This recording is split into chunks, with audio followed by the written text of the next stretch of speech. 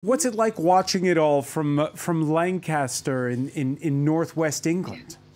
Yeah, it's it's quite frustrating actually not to be part of this whole kind of euphoric uh, moment, with very historical moment. It's quite frustrating, but I would describe myself as a a distant social media participant. I know that the term is quite uh, problematic, but I'm, I'm kind of participating through uh, different social media outlets, which are in themselves uh, sort of a public uh, space. But yeah, it's quite frustrating not to be part of the um, the ground. I mean, the, uh, the the movement on the ground.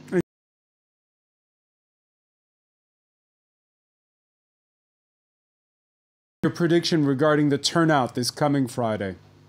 I think it will be the, the, the, the biggest, one of the biggest movements, if not the biggest